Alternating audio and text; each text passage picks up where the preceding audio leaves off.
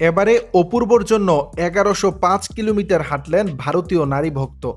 বাংলাদেশের ছোট পর্দার জনপ্রিয় অভিনেতা জিয়াউল ফারুক অপূর্ব করোনা ভাইরাসে আক্রান্ত হয়েছিলেন কিছুদিন আগেই।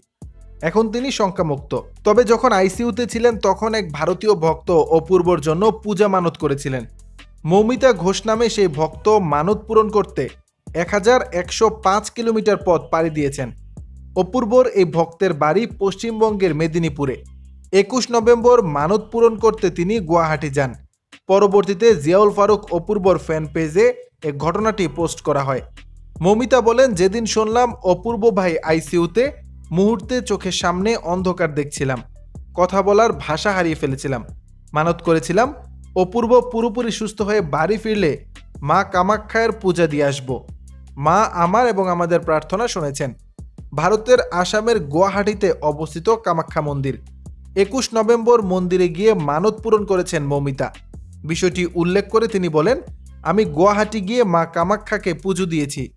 অপূর্বকে কোনোদিন আমার পরিজন ছাড়া অন্য কিছু ভাবিনি। অপূর্ব মানুষটাই এমন। তার ব্যবহার আন্তরিকতা মানুষকে এক অদৃশ্য সুতোয় বেঁধে ফেলেছে। আমি আমার মনের কথা ঠিক গুছিয়ে বলতে পারি না। আমার মনে হয়, ভালোবাসা আন্তরিকতা বলে বোঝানোর বিষয় ওটা মনের গভীর থেকে আসে।